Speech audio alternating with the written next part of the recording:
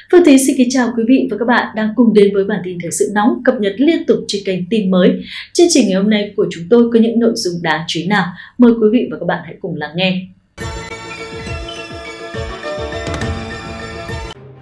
Bản tin tổng hợp tình hình Biển Đông ngày hôm nay hé lộ bất thường trong hoạt động trinh sát Biển Đông của Mỹ. Thưa quý vị, theo thông tin do sáng kiến điều tra tình hình chiến lược Biển Đông SCFPI cung cấp, số lượng chuyến bay trinh sát gần bờ biển Trung Quốc đã tăng đáng kể. Dữ liệu từ SCFPI chỉ ra, Mỹ đã điều 589 chiến đấu cơ lớn trong thời gian từ tháng 1 đến tháng 11 để thực hiện thu thập thông tin tình báo, tính riêng ở khu vực Biển Đông. Tuy dữ liệu chuyến bay trong tháng 12 chưa được công bố, nhưng trong tháng 12 năm ngoái, Mỹ đã triển khai 47 máy bay trinh sát lớn để tuần tra Biển Đông. Chuyến bay trinh sát gần nhất diễn ra vào ngày 21 tháng 12 khi Mỹ triển khai 3 máy bay tuần tra chống tàu ngầm P-8A Poseidon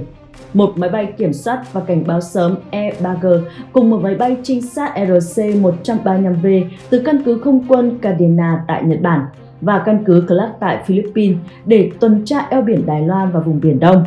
Trong ngày mùng 3 tháng 6, một máy bay trinh sát cỡ lớn RC-135C bay qua Biển Đông và chỉ cách Thượng Hải khoảng 90 hải lý, vài ngày trước khi Trung Quốc chính thức ra mắt tàu sân bay lớn thứ ba được thiết kế và chế tạo trong nước tại một xưởng đóng tàu ở thành phố Thượng Hải. Giám đốc SCFPI, ông Hubo cho rằng Kiểu bay tuần tra trinh sát này giống như năm ngoái, nhưng máy bay Mỹ có chiều hướng bay gần về phía Trung Quốc hơn. Ông chỉ ra, đánh giá này được thực hiện dựa trên dữ liệu thương mại do hệ thống tự động giám sát máy bay qua vệ tinh và phát quảng bá ADSB thu thập, nhưng có lẽ chỉ bao quát được lượng nhỏ hoạt động trinh sát gần của Mỹ vì không phải tất cả máy bay đều bật bộ truyền phát ADSB và các máy bay nhỏ không được thống kê. Số lượng thực tế có thể còn lớn hơn Ông Hu nói và nhấn mạnh các hoạt động trinh sát gần ngày càng tăng cường gần bờ biển Trung Quốc sẽ làm tăng nguy cơ va chạm vào đối đầu. Năm 2021, một máy bay trinh sát lớn của Mỹ từng thực hiện khoảng 1.200 chuyến bay do thám ở khoảng cách gần trên Biển Đông. Theo báo cáo của SCFPI hồi tháng 3, các chiến đấu cơ của Mỹ cũng đã tuần tra các khu vực khác bao gồm Biển Đông và Hoàng Hải. Chuyến bay trinh sát cự ly gần có thể thu thập, phân loại và phân tích các tín hiệu điện tử khác nhau bên trong bán kính gần 400 km, mở đường cho hoạt động quân sự tương lai. Ông Song Jong-ping, cựu giảng viên trong quân đội giải phóng nhân dân Trung Quốc cho biết, một số loại khí tài phát tín hiệu trong lúc tập trận và khi các tín hiệu này được thu lại và giải mã, có thể được sử dụng làm gián đoạn các hoạt động bình thường của hệ thống khí tài Trung Quốc một số tín hiệu điện tử khác có thể tiết lộ các nhánh quân sự liên lạc với nhau, làm dò dỉ thông tin quân sự Trung Quốc nếu bị thu thập và phân tích. Ông Song nói,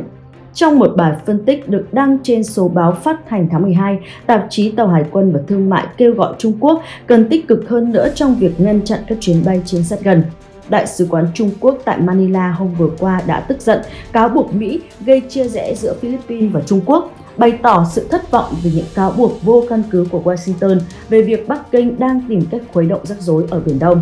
Biển Đông đã trở thành một trong nhiều điểm nóng trong mối quan hệ đầy thử thách giữa Trung Quốc và Mỹ, với việc Washington bác bỏ yêu sách lãnh thổ mà nước này miêu tả là phi pháp của Bắc Kinh ở vùng biển chiến lược giàu tài nguyên. Bắc Kinh đang phản ứng gay gắt trước tuyên bố vừa qua của người phát ngôn Bộ Ngoại giao Mỹ Ned Price, bày tỏ lo ngại về những đội tàu ngày một phình ra và leo thang hành động của Trung Quốc ở vùng biển tranh chấp và một sự cố liên quan đến một mảnh tên lửa trôi nổi trên biển. Phát ngôn viên Price cho rằng các hành động của Trung Quốc phản ánh việc nước này tiếp tục coi thường các bên tranh chấp khác ở Biển Đông và các quốc gia hoạt động hợp pháp trong khu vực. Ông Pride nhắc lại rằng Mỹ sát cánh cùng Philippines trong việc duy trì trật tự quốc tế dựa trên luật lệ. Một trong những tuyên bố được phát đi gần đây, Đại sứ quán Trung Quốc tại Manila đã tuyên bố rằng việc các nước láng giềng có sự khác biệt là điều hết sức tự nhiên, nhưng nhấn mạnh thêm rằng Mỹ tiếp tục can thiệp vào các tranh chấp ở Biển Đông và cố gắng chia rẽ các nước trong khu vực, gây căng thẳng và làm tổn hại đến hòa bình và ổn định khu vực. Những gì Mỹ đã làm không phải là để giúp đỡ bất cứ ai mà để phục vụ lợi ích địa chính trị của chính họ. Đại sứ quán Trung Quốc tại Philippines tức giận chỉ trích Trung Quốc tuyên bố chủ quyền với những vùng rộng lớn ở Biển Đông, trồng lấn với vùng đặc quyền kinh tế của Việt Nam, Malaysia, Brunei, Indonesia và Philippines. Hàng nghìn tỷ đô la thương mại chảy qua tuyến đường biển này hàng năm và đây cũng là nơi có các ngư trường và mỏ khí đốt phong phú. Philippines tuần trước đã bày tỏ quan ngại sâu sắc với các báo cáo cho thấy, tàu Trung Quốc tập hợp với số lượng đông ở một bãi đá ngầm và bãi cạn bên trong vùng đặc quyền kinh tế của nước này. Điều đó xảy ra vài ngày sau khi Bộ Ngoại giao Philippines gửi công hàm phản đối về việc một tàu bảo vệ bờ biển Trung Quốc bị quân đội Philippines cáo buộc đã sử dụng vũ lực để lấy một mảnh tên lửa trôi nổi trên biển đang được một tàu Philippines lai dắt ở Biển Đông, Trung Quốc đã phủ nhận việc họ dùng vũ lực lấy vật thể mà họ nói vào tháng trước là mảnh vỡ từ vỏ bảo vệ phần mũi của một con tàu vũ trụ do Bắc Kinh phóng. Philippines cùng với một số quốc gia trong khu vực đang có cuộc tranh chấp căng thẳng với Trung Quốc ở Biển Đông. Mỹ là đồng minh thân thiết hàng đầu của Philippines khi Trung Quốc leo thang các hoạt động quân sự ở Biển Đông.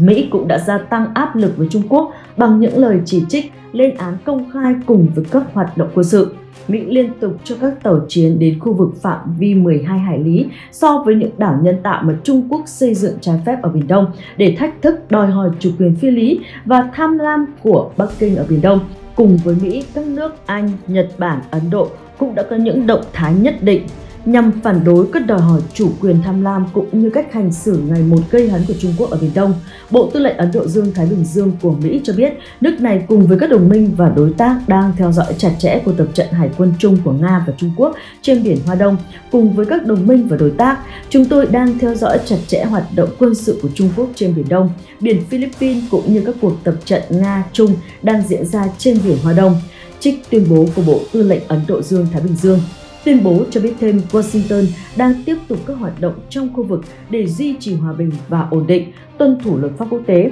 bao gồm tự do hàng hải và hàng không, đồng thời hỗ trợ thông suốt thương mại và các hoạt động hợp pháp khác trên biển. Đầu tuần này, Bộ Quốc phòng Nga cho biết một đội tàu thuộc hạm đội Thái Bình Dương đã đi về phía biển Hoa Đông để tham gia một cuộc tập trận hải quân Nga-Trung. Đội tàu của hai quốc gia láng giềng đã gặp nhau ở phía nam đảo Jeju của Hàn Quốc Bộ Quốc phòng Trung Quốc cho biết hạm đội đã tổ chức lễ khai mạc ngắn gọn cho cuộc tập trận tương tác hàng hải 2022 trước khi di chuyển tới một khu vực huấn luyện được chỉ định.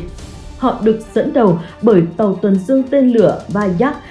Slava của Nga, vốn là soái hạm của hạm đội Thái Bình Dương và tàu khu trục Chai 052C Tế Nam của Trung Quốc.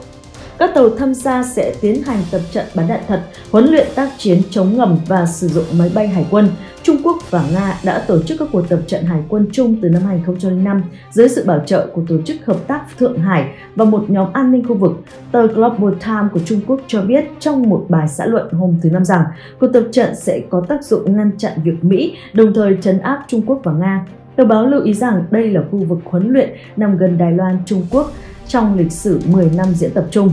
nhưng khẳng định không nên coi đây là một cử chỉ thù địch. Bộ Quốc phòng Nga trước đó đã thông cáo khẳng định cuộc tập trận nhằm mục tiêu tăng cường hợp tác hải quân giữa hai nước Nga-Trung hướng tới duy trì hòa bình và ổn định ở khu vực châu Á-Thái Bình Dương. Nga và Trung Quốc từng một số lần tổ chức các cuộc tập trận chung trên biển và thường xuyên tiến hành các cuộc tuần tra hàng không chiến lược chung ở khu vực châu Á-Thái Bình Dương. Gần đây nhất, Bộ Quốc phòng Nga thông báo nhóm máy bay chiến lược của Nga và Trung Quốc bao gồm oanh tạc cơ Tu-95MS của Nga và máy bay Xi'an H-6 của Trung Quốc đã tuần tra nhiều giờ trên bầu trời khu vực biển Nhật Bản và biển Hoa Đông. Điều 47 máy bay tới gần Đài Loan, Trung Quốc lấy lý do gì? Thưa quý vị và các bạn, CNN dẫn nguồn tin cơ quan quốc phòng Đài Loan cho biết Trung Quốc đã điều 47 máy bay qua đường trung tuyến của eo biển Đài Loan hôm qua. Các hoạt động mới nhất diễn ra khi Bộ Tư lệnh Chiến khu Đông Bộ của quân đội Trung Quốc hôm qua cho biết họ đã tiến hành tuần tra sẵn sàng chiến đấu chung và tập trận tấn công xung quanh Đài Loan nhằm đáp trả những hành động khiêu khích giữa Đài Loan và Mỹ. Quân đội sẽ thực hiện mọi biện pháp cần thiết để kiên quyết bảo vệ chủ quyền quốc gia và toàn vẹn lãnh thổ. Bộ Tư lệnh Chiến khu Đông Bộ cho biết Hôm trước đó, Tổng thống Mỹ Joe Biden đã ký thành luật một dự luật quốc phòng mới sâu rộng, bao gồm thiết lập một chương trình hiện đại hóa quốc phòng cho Đài Loan.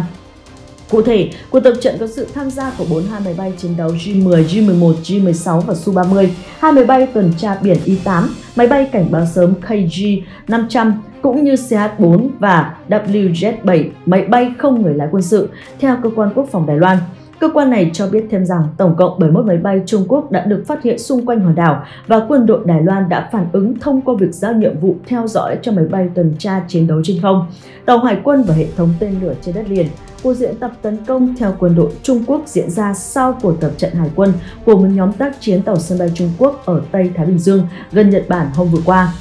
Trung Quốc xem Đài Loan là một phần lãnh thổ chờ thống nhất, căng thẳng xung quanh Đài Loan đã gia tăng rõ rệt trong năm nay. Theo sau chuyến thăm hòn đảo của Chủ tịch Hạ viện Mỹ Nancy Pelosi vào tháng 8 là hàng loạt các cuộc tập trận quân sự từ phía Bắc Kinh. Kể từ đó, Bắc Kinh đã tăng cường các chiến thuật gây áp lực quân sự mạnh mẽ lên hòn đảo này, đưa các máy bay chiến đấu bay qua đường trung tuyến của eo biển Đài Loan, vùng biển ngăn cách Đài Loan và Trung Quốc và tiến vào vùng nhận dạng phòng không Adit. Trước đó, ông Biden đã gặp trực tiếp nhà lãnh đạo Trung Quốc Tập Cận Bình lần đầu tiên trong nhiệm kỳ tổng thống của ông tại hội nghị thượng đỉnh G20 ở Indonesia. Sau đó, ông Biden mô tả cuộc họp kéo dài 3 giờ là cởi mở và thẳng thắn. Các cuộc đàm phán song phương chính thức về hợp tác khí hậu dự kiến sẽ được nối lại là một phần trong loạt thỏa thuận rộng lớn hơn giữa ông Biden và ông Tập với việc Trung Quốc trước đó đã tạm dừng các cuộc đàm phán như một phần để trả đũa chuyến thăm Đài Loan của bà Pelosi. Các bạn có suy nghĩ gì về những diễn biến mới đây trên Biển Đông? Hãy để lại ý kiến của các bạn dưới phần bình luận. Bản tin của kênh tin mới đến đây là kết thúc. Cảm ơn quý vị và các bạn đã quan tâm theo dõi. Đừng quên nhấn nút thích, chia sẻ và đăng ký kênh để tiếp tục cập nhật những bản tin mới nhất tiếp theo trên kênh của chúng tôi. Còn bây giờ xin chào và hẹn gặp lại.